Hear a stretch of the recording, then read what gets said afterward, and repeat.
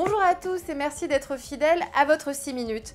Structurée par une colline qui sépare la commune en deux grandes parties, la ville a lancé en 2011 une étude globale sur les modes de déplacement doux sur notre territoire. L'objectif de ce projet est de promouvoir la marche à pied et le vélo, de faire découvrir les itinéraires malins et d'offrir une nouvelle lecture du territoire en rendant visibles les équipements municipaux. C'est le sujet de votre grand angle, juste après la rubrique Actu.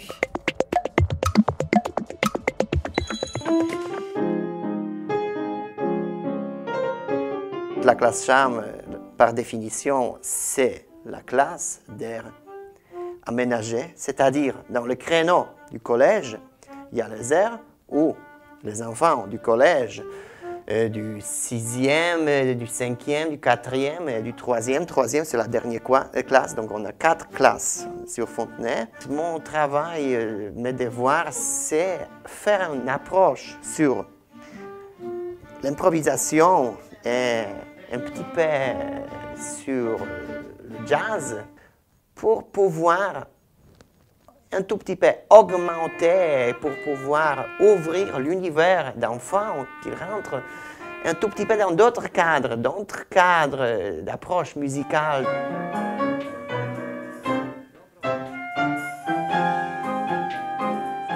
Et on est en train de préparer un spectacle. Je travaille sur certains standards jazz. J'ai donné quelques outils, quelques notions. Euh, en fait, on, de, façon très simple. On travaille basiquement sur, sur, euh, euh, sur la gamme pentatonique, euh, ça donne 5 sons.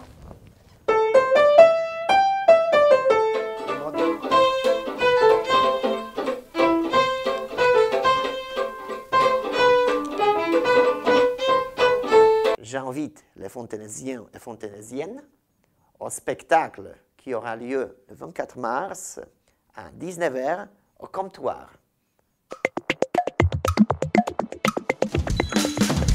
Alors la fête de la cité organisée par l'Office de tourisme depuis 18 euh, ans maintenant.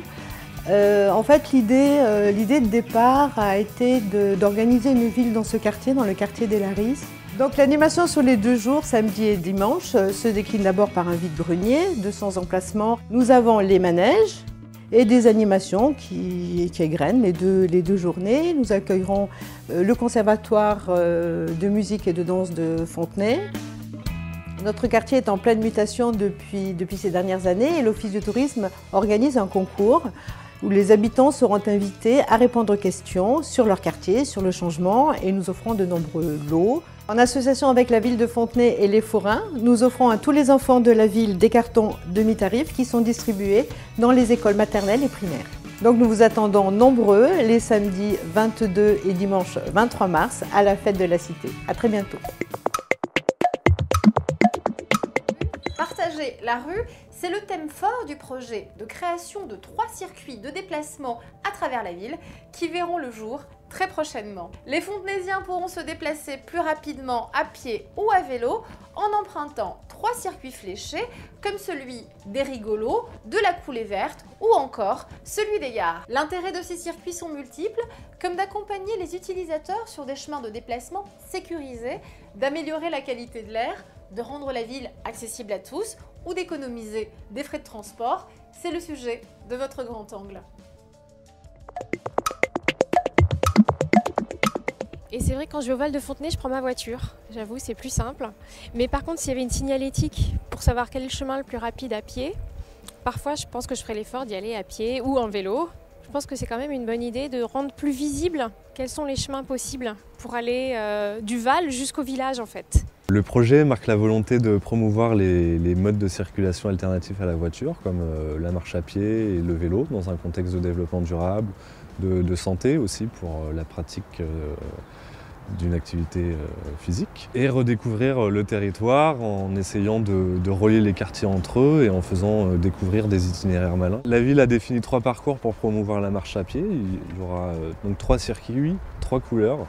Un parcours qui, qui rejoindra les deux gares, un qui ira des rigolos au village et un autre qui, traversera tous les parcs de la ville. À chaque carrefour, on retrouvera un mât de signalisation qui fléchera les équipements municipaux et les services d'utilité publique comme la gare, le centre commercial, le pôle emploi. Le temps de parcours pour s'y rendre et il y aura, également un, flash code.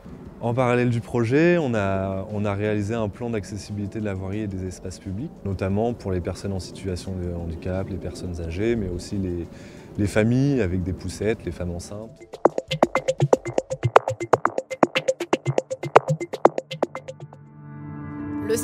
La forêt ébouriffée est à découvrir à partir de 6 ans, le mardi 25 mars à 20h30 à la salle Jacques Brel. N'oubliez pas d'aller voter, les élections municipales se dérouleront les 23 et 30 mars. Merci d'avoir suivi les 6 minutes. Rendez-vous pour une prochaine édition et d'ici là, portez-vous bien.